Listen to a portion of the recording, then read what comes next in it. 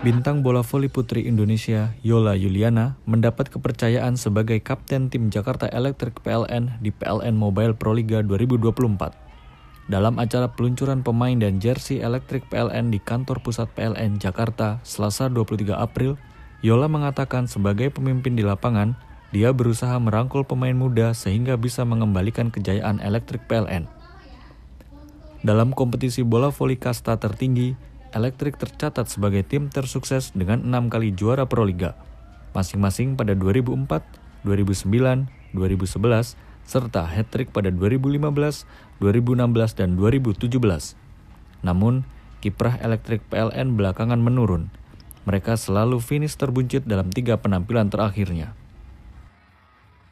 Salah satu uh, apa ya uh, strategi juga di luar lapangan untuk menjaga uh, mental dan kestabilan teman-teman untuk lebih fight lagi saat bertanding. Jadi emang uh, masuk ke lapangan skill kita udah mumpuni gitu. Kadang kan ada kalau junior tuh kadang kalau misalnya skillnya bagus tapi mentalnya jelek jadinya hilang semua. Nah itu aku yang pengen mau maintain Sementara itu, Direktur Utama PLN Darmawan Prasojo mengatakan persiapan elektrik menghadapi Proliga 2024 jauh lebih matang.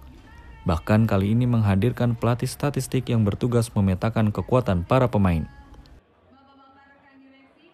Kali ini di sini teman-teman melihat sendiri tim PLN kompak, kita membangun strategi baru, kita fokus, kita merancang tim yang sangat kuat, didukung juga pelatih yang world class, yaitu Pak Cakman Dukmai dari Thailand, Kemudian tim kali ini konfigurasinya juga sangat luar biasa. Di sini ada Mbak Yola dengan teman-teman semuanya. Selain Yola sebagai middle blocker syarat pengalaman, Elektrik juga memiliki Maya Kurnia Indrisari dan Tisha Amalia Putri. Lalu ada dua pemain asing Katerina Zitkova dan Indri Sorokait serta pemain muda lainnya. Di bawah asuhan pelatih berpengalaman asal Thailand, Cham Nandokmai, Elektrik optimistis bisa bersaing dengan enam tim putri lainnya di Proliga 2024. Dari Jakarta, Muhammad Ramdan, Kantor Berita Antara mewartakan.